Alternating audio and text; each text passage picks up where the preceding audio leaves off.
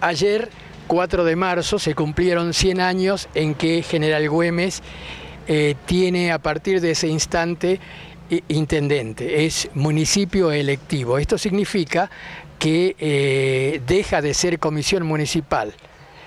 Eh, hasta ese momento, Camposanto y Güemes eran comisiones municipales. Había un presidente y otros integrantes que manejaban la vida de los pueblos. Eh, estaba eh, el presidente Hipólito Yrigoyen, decreta la intervención federal de la provincia y en ese momento se produce la, digamos, comienzo un nuevo ciclo la ciudad de General Güemes como intendencia.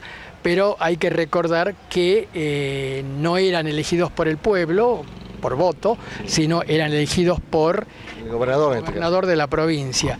Eh, no recuerdo muy bien, pero creo que es en la década de 1960 en que sí recién comienza los intendentes a ser elegidos por voto popular.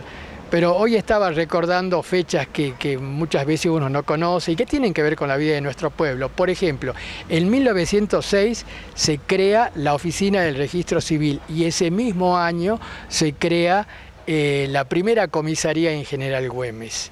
En 1907 se funda la escuela eh, Justo José de Urquiza, que es una de las más viejas, por supuesto.